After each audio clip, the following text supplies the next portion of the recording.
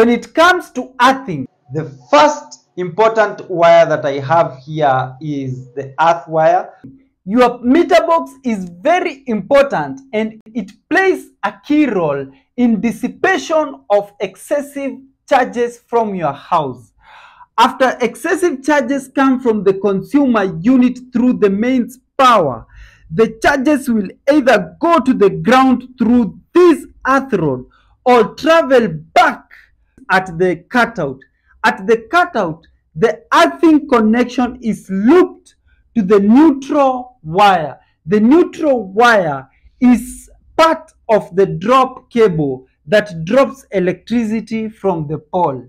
Now, at the neutral wire, there is a connection at the immediate pole that is serving you with electricity.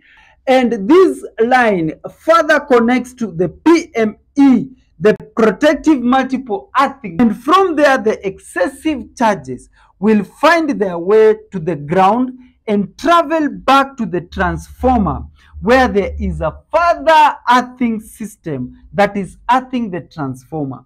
These charges will travel back to the transformer and to the circuit where now the charges will be converted to useful electricity. Now, if you find this information to be helpful, kindly hit the like button. And this is how the excess charges will flow all the way from your house to the transformer, protecting you against an electric shock.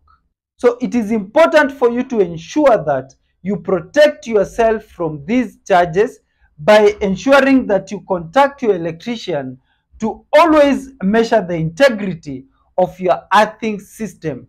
This you need to do regularly.